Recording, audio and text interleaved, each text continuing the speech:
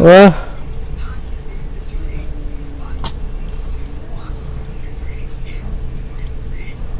What the heck? Just getting a stupid notification.